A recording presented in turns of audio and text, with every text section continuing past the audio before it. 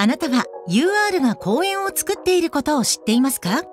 また、これまで何箇所の公園を作ってきたと思いますか？実は UR は、都市公園受託事業と防災公園街区整備事業、この2つの事業を軸に、日本中で多くの公園整備に携わってきました。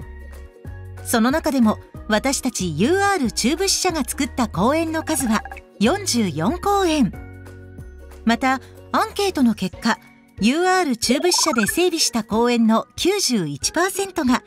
地域のまちづくりに貢献していると評価いただきました。公園はレクリエーションの場都市環境の改善生物多様性の保全と多くの役割を担っています。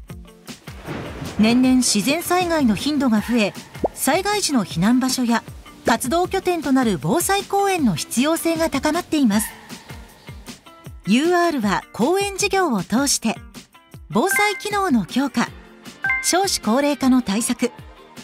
街の活性化にぎわいの創出などさまざまなまちづくりの課題解決に取り組んでいます。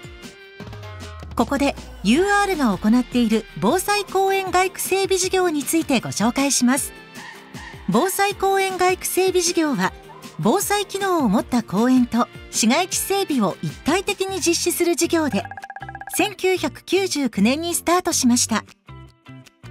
市町村などの要請に基づき工場跡地などの公園用地を機動的に取得し周辺市街地の改善を実施しています。三重県鈴鹿市にある防災公園で桜の森の名前の通り約200本の桜が見事な花を咲かせます。春祭りは地域住民の楽しみとなっています。市民参加のワークショップで計画した幼児も安心して遊べる遊具や広場。隣接する鈴鹿医療科学大学と連携し整備したウォーキングコースなどがあり人々の憩いの場となっています。また災害発生時には避難拠点となり人々の暮らしを守っています。自由広場や野球場は災害時にはヘリポートとして使用することができ防災ブランコ防災パーゴラかまどベンチ他にも防災公園として充実した機能があります。公園の整備だけではなく地域まちづくりの観点から土地区画整理事業も行い道路や公園を整備し良好な住環境の形成を図っています。内田防災公園は愛知県の犬山城下にある公園です。木造の建物が多いため火災時の避難スペース確保などの防災性の向上と歴史観光まちづくりの推進を目的として市とともに計画しました。遊具や広場がありスポーツを楽しむこともできます。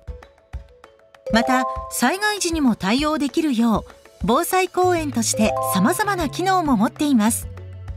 そして公園の隣には新しく消防署の出張所が建設され防災公園と連携し地域の災害対応に取り組んでいます。UR はこれまで積み上げてきた知識とノウハウを生かし